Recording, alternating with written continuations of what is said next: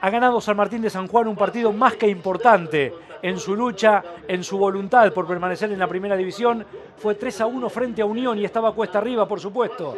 Ganaba Unión desde los 18 minutos del primer tiempo, por tanto de Cosaro, este juvenil que sorprende en el área de enfrente en una buena combinación con Franzoya, entró para tocar ante las licencias del fondo sanjuanino. Era el mejor momento de Unión, donde había una buena intención de juego asociado, con el aporte de Licio, de Franzoya, por supuesto, de Magnín, que entraba y salía del área con buena aceleración, y San Martín Sanjuanino que no encontraba signos vitales de recuperación.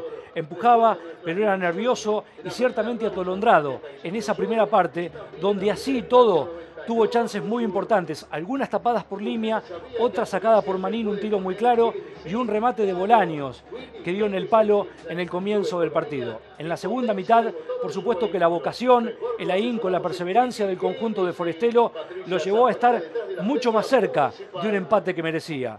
Llegó con Riaño, los goles estaban en el banco esta noche aquí en San Juan por parte del conjunto local. Riaño reemplazó a Penco de deslucida actuación y llegaron los goles que para nosotros no trajeron ninguna polémica, sí para Unión que se desbordó por la situación. Hay un rebote en línea y Riaño parte habilitado tras el tiro de Luna.